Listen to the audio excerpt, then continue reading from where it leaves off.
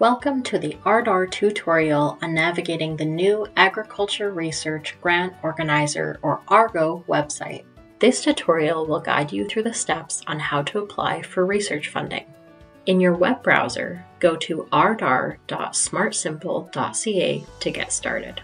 If you've already received an email with your login credentials, you may use those to log in.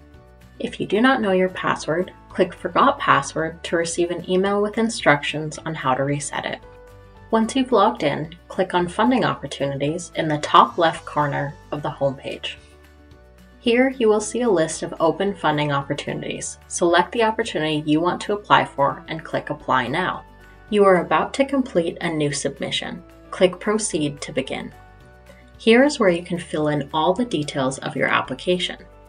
The Program Details section hosts the Program Guidelines document which outlines the eligibility requirements. Be sure to download and read the program guidelines before proceeding. Once you have confirmed your eligibility, you can check the box and click Next. Under Contact Information, ensure that all of the information listed is correct. If you want to invite someone to collaborate on your submission, you can do so by clicking the Invitation button and using the plus sign to add in collaborators. These individuals will receive a link allowing them to edit your proposal.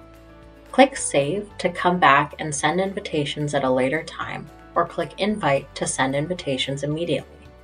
Once you're done, you can close out of this page. Once you have confirmed that your contact information is correct and you've added any necessary collaborators, click Next. Under the Project Information tab is where you will input the details of your application.